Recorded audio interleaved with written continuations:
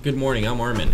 And I'm David. These are announcements for Thursday, March 27. Seniors, the Golden W Award form is due to Miss Milligan in room 215 by tomorrow. All baseball players need to step down to the athletic office to order their baseball gear. The West High dance team tryouts start April 4th from 3:30 to 6:30 in the Commons. The official tryouts are on April 6th in the auditorium after school. You must attend the April 4th date to learn the routine and skills in order to try out. Anyone who purchased a Latinos Unidos t-shirt can pick it up after school today in room 105B. All students who are attending the Much- Multicultural Day at Hawkeye Community College this Friday must meet on the second floor and X at the start of first hour. There will be a baseball parent meeting in the Commons April 1st at 6 p.m. Movie Club will be meeting tomorrow. We will be watching Great Balls of Fire starring Winona Ryder.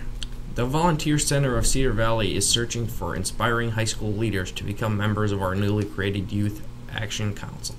The Youth Action Council will offer youth an opportunity for leadership development while developing empowered to make a difference in the community. If interested, please see your counselor as soon as possible. The Martavius Johnson Memorial Scholarship Fund was created on behalf of the Shaping Leaders of Tomorrow organization and Johnson's family as part of our Stop the Violence campaign. Two years ago, this young man was shot and killed. Because of this tragic event, he will never have the opportunity to attend college and do great things. With this in mind, we understand that many high school students have faced adversity not only in the classroom but in their personal lives as well. Slot believes that through these challenges, sometimes all a person needs is for someone to believe in them and or provide them with an opportunity that allows them to be thrive and great. As a result of this, Slot, along with Johnson's family, created the scholarship for students who have overcome adversity and plan to attend college and pursue a degree. The Martavius Johnson Memorial Scholarship Fund will be awarded to several high school seniors in the amount of $250, which can be used for books, supplies, and supplemental school use. Please see the scholarship criteria by accessing the West High's website. Have you wanted to learn more about careers like athletic training, physical therapist, athletic, athletic coach, or physical education instructor? If so, plan on attending a PEP Club Physical Education Plus meeting to learn about these careers. Please attend our first PEP meeting on April 1st at 6:30 p.m. in the men's gym.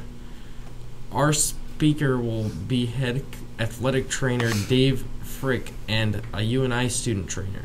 After the question and answer time, there will be an open gym time until 8 p.m.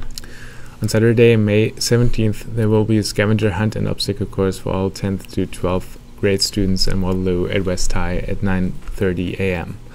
You can form teams of four to compete in activities that are athletic, artistic, and academic, and may even involve eating gross things. Winning teams will earn scratch cupcakes, gas cards, Beck's gift certificates, and more. The grand prize is an entire semester of free tuition to Hawkeye Community College for every person on the team. To sign up, get a form from the business office. Cost is five bucks per person. Sign up by May 1st. Have a nice day, Wahawks.